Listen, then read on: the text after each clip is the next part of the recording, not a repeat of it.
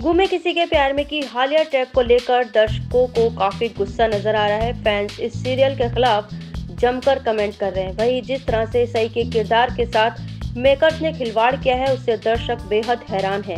एक फैंस ने पोस्ट करके लिखा है कि, welcome to doormat Sai Sai के किरदार में कुछ भी नया नहीं बचा। अब सई इस शो को डोरमेट की तरह लग रही है।